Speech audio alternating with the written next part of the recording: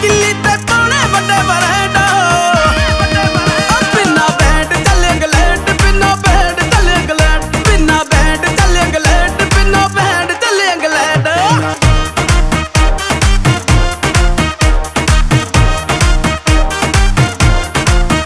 UK ਜਾਣ ਲਈ ਪਰਚੀ ਪਾਈਆਂ, ਖੋਰੇ ਕੀ ਦੀ ਕਿਸਮਤ ਲੱਕੀ ਭੂਆ ਦੀ ਪਰਚੀ ਨਿਕਲ ਗਈ, ਪਰ ਚਾਚੀ ਪਈਆ ਮੱਚੀ। ਭੂਆ ਦੀ ਪਰਚੀ ਪਾਈਆਂ